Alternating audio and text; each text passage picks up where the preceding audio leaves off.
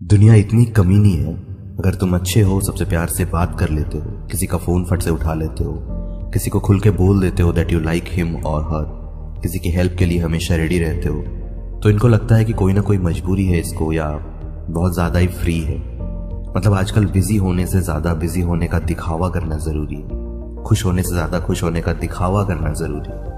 पहले कहीं घूमने जाते थे तो चार फ़ोटोज़ क्लिक कर लेते थे कि बाद में कभी देखेंगे तो अच्छा लगेगा। अभी साला फ़ोटो क्लिक करने के चक्कर में लोग साथ में घूमने का मज़ा नहीं ले पा रहे। क्यों? क्योंकि अच्छी photos are more important than अच्छे मोमेंट्स अच्छी मेमोरीज फिर आके इंस्टाग्राम पर दिखावा भी तो करना है कि कितने खुश है हम।